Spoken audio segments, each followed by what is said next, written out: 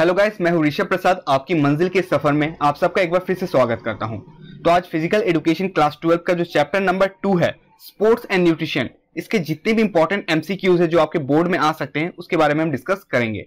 सबसे पहला हमारा जो क्वेश्चन है balance diet consist higher sources of balance diet में क्या चीज़ ज़्यादा होता है? प्रोटीन ज़्यादा होते हैं फ्रूट ज़्यादा होते हैं फैट ज़्यादा होते हैं, या all the component in a balance form या जितने भी महत्वपूर्ण कॉम्पोनेंट है, वो एक बैलेंस फॉर्म में होते हैं। तो इसका राइट आंसर क्या होगा? तो इसका राइट आंसर होगा डी जितने भी कंपोनेंट होते हैं, वो एक बैलेंस फॉर्म में होते हैं। ठीक है? सो हमारा क्वेश्चन नंबर टू है nutrients are the chemical nutrients इस तरीके के केमिकल जो हमारे खाना में होते हैं, वो क्या करते हैं?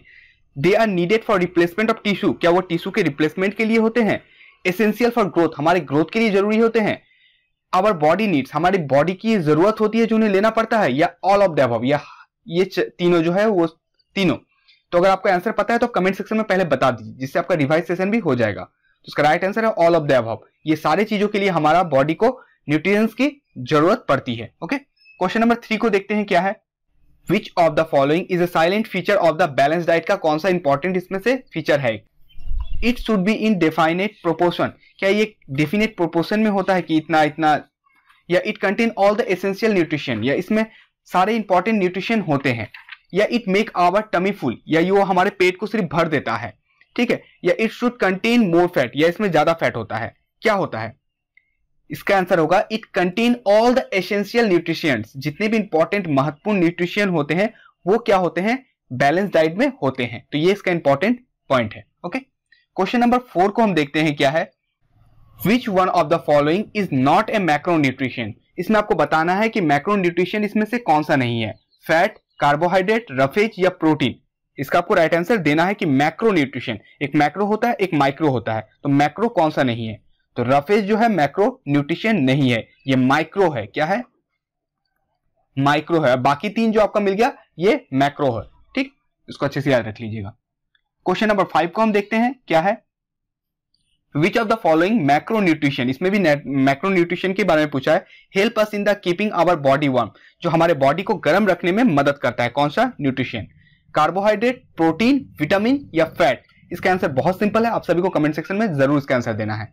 तो राइट आंसर क्या बताइए जल्दी? वेट कर रहा हूँ मैं। जी हाँ इसका राइट आंसर है फैट ओके okay, अगर नहीं भी आता एटलीस्ट ट्राई तो करिए ना। कोई कमेंट मारने से आपको दिक्कत तो होगा नहीं। ऐसा ऐसा भी नहीं है कि मेरा बहुत कुछ हो जा रहा है। एटलीस्ट ट्राई आपका हो जाएगा प्रैक्टिस हो जाएगा तो ज़रूर प्रैक्टिस करते रहिए, ठीक है ना? क्वेश्चन नंबर सिक्स को देखते हैं। The main sources of protein are जो मेन सोर्सेस है प्रोटीन का, वो क्या है?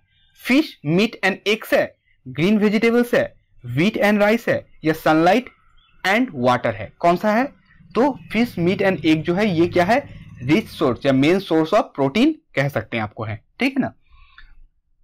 आप सभी बच्चों से मेरा रिक्वेस्ट है कि आप चैनल को ज़रूर सब्सक्राइब करें, क्योंकि मैं इतने मेहनत से आप सभी के लिए वीडियो बना के लाता हूँ। और बहुत कम लोग, मैं पिछले वीडियो में भी कहा कि बहुत कम लोग हैं जो सब्सक्राइबर्स मेरे मतलब चैनल में है और अनसब्सक्राइबर्स ज़्यादा देखते हैं और चले जाते हैं। तो उन सबसे रिक्वेस्ट है प्लीज़ आपके एक सब्सक्राइब करने से कुछ नहीं होगा बट मेरे लिए मदद मिलेगा मुझे। तो प्लीज़ सब्सक्राइब ज़रूर करें। क्वेश्चन नंबर सेवन हमारा है which macro minerals help in hydro balance in our body जो हमारा हाइड्रो बैलेंस को मेंटेन रखता है बॉडी में कौन सा मिनरल आपको बताना है? पोटासियम कैल्शियम सोडियम या फॉस्फोरस इसका राइट आंसर क्या होगा? बताइए जल्दी से। तो पोटासियम ऐसा एक मिनरल है जो हमारे बॉडी में क्या करता है? हाइड्रो बैलेंस को बनाए रखने में बहुत ज़्यादा योगदान इसका है। तो पोटासियम को अच्छे से याद रखिएगा ओके उसके बाद ये पोटासियम और मैग्नीशियम जो होता है, ये कभी कभी पूछ लेता है कि किस तरीके के वेजिटेबल्स में मिलते हैं या फ्रूट्स में मिलते हैं। तो पोटासियम और मैग्नीशियम जो है, ये आपको बनाना में सबसे ज़्यादा मिलता है। इस चीज़ को आपको भी याद रखना है ओके क्वेश्चन नंबर एट को देखते हैं।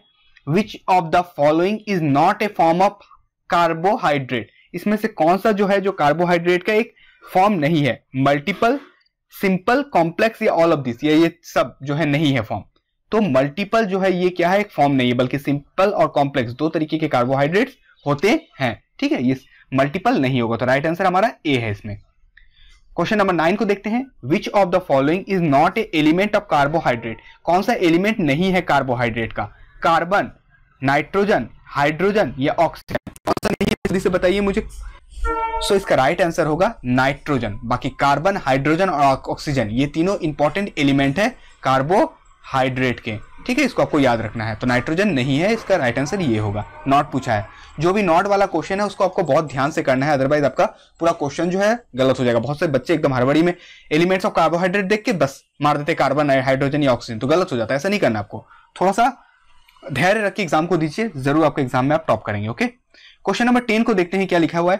Protein are turn into which acid by our digestive system ये क्लास टेन और नाइन में भी आपने पढ़ा था कि हमारे डाइजेस्टिव जो सिस्टम है, इसमें प्रोटीन को किस चीज़ में बदल देता है? किस एसिड में ये कन्वर्ट हो जाता है? स्कॉर्बिक एसिड में हाइड्रोक्लोराइड एसिड में लैक्टिक एसिड में या अमीनो एसिड में? तो अमीनो एसिड में हमारे प्रोटीन को कन्वर्ट कर दिया जाता है डाइजेस्टिव सिस्टम के द्वारा, उसका अमीनो एसिड जो है हमारे बॉडी में ये अच्छी तरीके से मिल जाता है ओके तो ये आपको अच्छे से याद रखना है। क्वेश्चन नंबर इलेवन को देखते हैं, क्या है? Name the most concentrate form of energy present in our food सबसे आपको क्या करना है? जो most concentrated form of energy सबसे ज़्यादा आपको किस चीज़ से एनर्जी मिलता है? जो हमारे खाना में होता है। जिससे एनर्जी किससे? फैट से मिलता है कार्बोहाइड्रेट विटामिन या मिनरल से मिलता है। जल्दी से बताइए मुझे। सो so, फैट से ज़्यादा सबसे हमको एनर्जी हमारे बॉडी में मिलता है। ठीक है देखते हैं मोटे लोगों का एनर्जी कभी कभी ज़्यादा रहता है उन लोग नहीं खा के भी बहुत सारे काम कर सकते हैं। तो उनका फैट जो होता है वो एनर्जी में कन्वर्ट होते रहता है। बट ये पतले आदमी में ये सारी चीज़ देखने को नहीं मिलते हैं। बट ज़्यादा फैट होना भी सही नहीं है। ठीक है ये आपको एक परसेंटेज बता देता हूँ। मेल में ट्वेंटी परसेंट से ज़्यादा फैट उसके बॉडी का हिसाब से मतलब जितना वेट है उससे नहीं होना चाहिए। और फीमेल में जो है थर्टी परसेंट से ज़्यादा फैट उनके बॉडी में नहीं होना चाहिए, जितना उनका वेट है। अगर उससे ज़्यादा होता है तो ये हार्मफुल है, और मेल के लिए थोड़ा कम है, इसको अच्छे से याद रखिएगा। Which among the following vitamin is not fat soluble आपको बताना है कि कौन सा जो विटामिन है, वो फैट सोल्यूबल नहीं है, मानी यानी कि वो फैट में नहीं घुलता है। अब आपको मैं एक छोटा सा वीडियो नेक्स्ट वीडियो में प्रोवाइड कर दूँगा, जिसमें आपको बता दूँगा कि कौन कौन सा विटामिन फैट में घुलता है और कौन कौन सा वाटर में मिलता है। बहुत ही इजी ट्रिक है, मैं आपको बता दूँगा, ठीक है? तो अभी के लिए मैं आपको बता देता हूँ कि विटामिन जो हमारा बी होता है। ये फैट में सल्यूबल नहीं है, बाकी ए डी और ई e और के विटामिन जो है, ये फैट में घुल जाता है। और बाकी आपका जो बी बच गया और क्या बच गया? एक सी ये दोनों जो है आपके वाटर में ये सल्यूबल होते हैं वाटर में होते हैं। इसका ट्रिक मैं आपको अगले वीडियो में बता दूँगा ओके तो आप मेरे साथ जुड़े रहें। क्वेश्चन नंबर थर्टीन को देखते हैं, क्या लिखा हुआ है? Which among the following are energy yielding food जो आपको बहुत ज़्यादा एनर्जी प्रोवाइड करता है, किससे? कार्बोहाइड्रेट से, प्रोटीन से, मिनरल से या विटामिन से आपको बताना है जल्दी से क्या होगा? तो कार्बोहाइड्रेट से सब बहुत ज़्यादा आपको एनर्जी भी प्रोवाइड होता है, येल्डिंग फ़ूड है, ओके ना? इसको याद रखना है। क्वेश्चन नंबर फोर्टीन को देखते हैं क्या है? Cereals like wheat rice, maize and pulses are good sources of which of the following? वो किस चीज़ का गुड सोर्सेस है? फैट के, प्रोटीन्स के, कार्बोहाइड्रेट्स के या मिनरल्स के? बताइए कमेंट सेक्शन में, मैं इंतज़ार कर रहा हूँ। तो जी हाँ आपका आंसर बिल्कुल सही है। कार्बोहाइड्रेट जो है, ये एक रिच सोर्सेस है, जिसमें वीट राइस और मेज और पल्सेस में मिल जाते हैं। तो उसको अच्छे से याद रखिएगा। जिसमें कार्बोहाइड्रेट में क्या होता है? कार्बन होता है हाइड्रोजन होता है और ऑक्सीजन होता है। इसका इंपॉर्टेंट एलिमेंट्स ये है। आपको याद रखना है। क्वेश्चन नंबर फिफ्टीन क्या है? Which fruit is good sources of potassium तो पोटाशियम का गुड सोर्स क्या है? मैंने आपको थोड़ा देर ऊपर ही बताया। ऑरेंज में एप्पल में कीवी में या बनाना में। जल्दी से कमेंट सेक्शन में बताइए इसका आंसर क्या होगा। जी हाँ आपका आंसर बिल्कुल सही है। बनाना इसका राइट आंसर होगा, जिसमें बहुत ज़्यादा पोटाशियम भी मिलते हैं और मैग्नीशियम भी मिलते हैं। तो ये बॉडी के लिए आपका बहुत अच्छा है। तो बनाना डेली एक करके खाया करिए। ओके क्वेश्चन नंबर सिक्सटीन को देखते हैं। डिफिशियंसी मतलब यानी कि कमी of which vitamin causes night blindness जो अगर आपके शरीर में नहीं रहा तो आपको नाइट ब्लाइंडनेस हो जाएगा, यानी कि आपको रात को अच्छा नहीं दिखेगा। तो विटामिन ए बी सी या डी जल्दी से बताइए। मम्मी लोग भी बोलते हैं कि ये खा लो बेटा जिससे आपको विटामिन बढ़ेगा। यानी कि पपाया खा लो, बहुत ज़्यादा बोलते हैं कि पपाया खा लो बेटा, आपका आपको देखने की क्षमता बढ़ेगी, आपकी आँखों की ताकत बढ़ेगी। तो वो विटामिन ए हमको क्या में मिलता है? पपाया में मिलता है, जिससे हमारा नाइट ब्लाइंडनेस जो है उस चीज़ को दूर करता है। और इसको कमी हमारे बॉडी में नहीं होना चाहिए। इसलिए विटामिन ए का कंज्यूम आपको करते रहना चाहिए।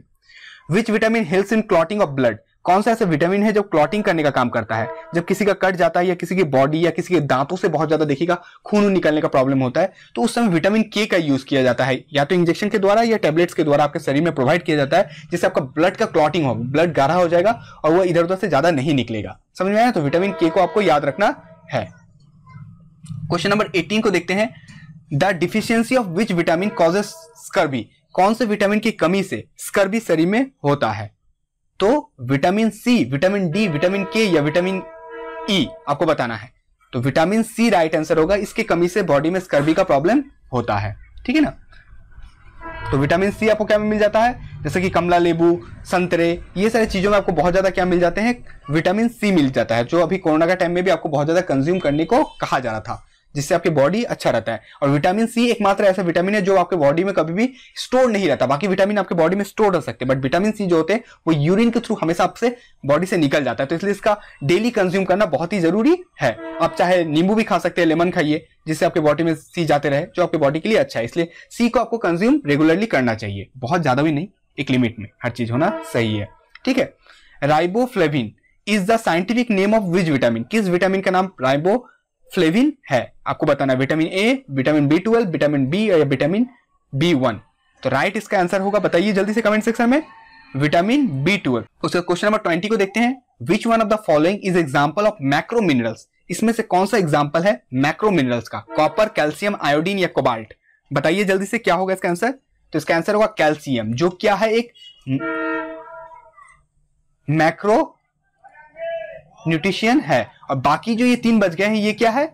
माइक्रो है। क्या है? माइक्रो न्यूट्रिशन है। इसमें और भी बहुत सारे मिनरल्स आ जाएँगे जैसे कि फ्लोरिन आ जाएँगे जिंक आ जाएँगे क्रो, क्रोमियम आ जाएगा। ये सारी चीज़ माइक्रो के अंदर आता है। और मैक्रो के अंदर आ जाता है calcium potassium sodium magnesium phosphorus ये पाँच होते हैं। तो अभी के लिए यही ट्वेंटी क्वेश्चन बाकी के जो क्वेश्चंस बच गए हैं वो मैं आपको अगली वीडियो में कराऊँगा क्योंकि अगर इसी वीडियो में करा दूँ तो बहुत लेंदी हो जाएगा। सो पार्ट टू का लाभ उठाने के लिए वीडियो को ज़रूर सब्सक्राइब करें। मैं मिलूँगा आपसे अपने अगली वीडियो में। तब तक के लिए स्वस्थ रहें, मस्त रहें और मुस्कुराते तो ज़रूर रहें। जय हिंद, जय भारत।